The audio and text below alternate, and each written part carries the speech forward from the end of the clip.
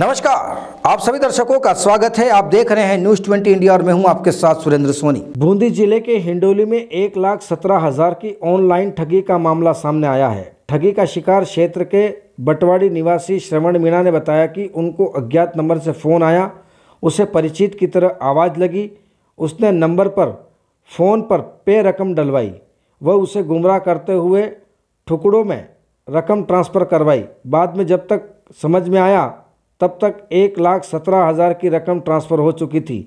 बाद में उसे वापस फ़ोन किया तो फ़ोन बंद मिला। उसके बाद उसे सोशल मीडिया व पुलिस हेल्प डेस्क पर मदद मांगी। उसके बाद उन्होंने हिंडोली पुलिस थाने में रिपोर्ट देकर कार्रवाई की मांग की है। वहीं थाना अधिकारी मुकेश मीणा ने बताया कि रिपोर्ट पर जाँच की जा रही है। वहीं जल्द ही गिरफ्तारी की जाएगी। संवाददाता जितेंद्र सिंह राठौड़ की रिपोर्ट। ऑनलाइन ठगी का मामला आया है क्या है मामला पूरा?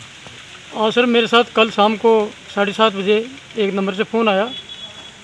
परिचित हूँ और मतलब मेरे फ़ोन पे से उसने वो ट्रांजेक्शन करवा लिया। एक लाख सत्रह हज़ार और कुछ रुपये। इसके लिए आपने सोशल मीडिया पर भी अपनी गुहार लगाई? हाँ लगाइए सर। और थाने में रिपोर्ट दर्ज कराई इसकी।